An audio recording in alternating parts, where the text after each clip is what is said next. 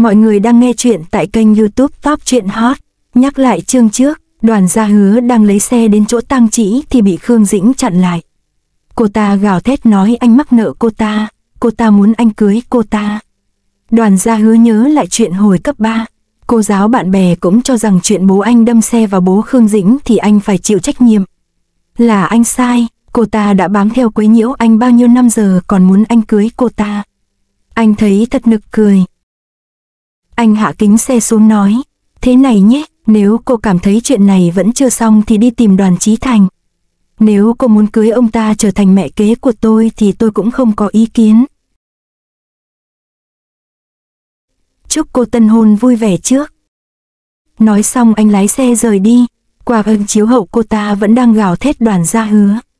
Tôi và anh còn chưa xong đâu, anh lái xe đến trường tang chỉ đón cô đi ăn.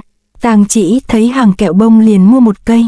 Chú có thể thêm một lớp đường màu hồng bên ngoài được không? Được, từ sau khi tỏ tình với cô anh rất chủ động theo đuổi cô. Sao lại thêm màu hồng?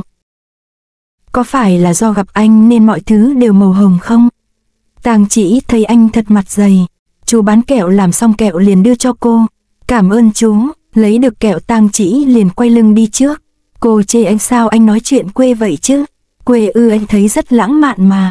Nói không lại anh cô liền đổi chủ đề. Anh muốn ăn gì? Em không đói nhưng có thể ngồi cùng anh. Đột nhiên đoàn gia hứa tiến lên ăn miếng kẹo bông trên tay cô. Anh khiến cô ngơ ra không kịp phản ứng. Anh muốn ăn kẹo bông. Sao anh lại ăn kẹo của em? Em đúng là nhóc con keo kiệt. Anh keo kiệt thì có. Cuối cùng hai người cùng đến quán mì. Đoàn gia hứa gọi một bát mì còn tang chỉ ăn kẹo bông. Dạo này em làm gì? Trường em đang tổ chức cuộc thi truyền thông kỹ thuật số. Bọn em lập nhóm tham gia nhưng vẫn chưa biết làm gì. Phim hoạt hình thì có nhiều nhóm làm rồi mà game thì bọn em không biết lập trình.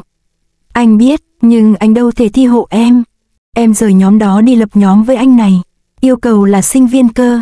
Em thấy anh không giống sinh viên à? Cô thật không nói lại anh. Cảm ơn anh, mà An không muốn ăn mì sao? Nãy giờ chưa ăn được gì. Anh đang kéo dài thời gian đó. Ăn chậm một chút, như thế có thể ở cạnh em lâu hơn một chút. Hết hai tiếng rồi đưa em về trường. Vậy thì mì sẽ trương hết lên đó. Nói xong Tăng chỉ liếc qua anh thấy hôm nay anh có vẻ không vui.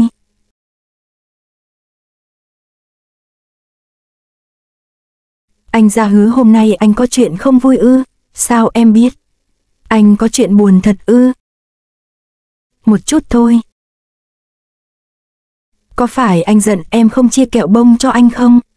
Em đi mua cho anh một cây nhé. Không phải đâu, do em tăng ca nên mệt mỏi thôi. Vậy anh đừng tăng ca làm việc nữa. Ừ, đi nào anh đưa em về trường. Tàng chỉ vừa đi vừa lục trong túi. Cô lấy ra một phong kẹo đưa cho đoàn gia hứa. Cho anh kẹo này. Em dỗ trẻ con à? Là dỗ trẻ lớn. Kẹo này ngon lắm, Tang Diên cũng thích ăn đó. Nói rồi Tang chỉ bóc một viên kẹo đưa cho anh. Đoàn gia hứa không đưa tay nhận lấy. Mà nghiêng đầu xuống ngậm lấy viên kẹo trong tay cô.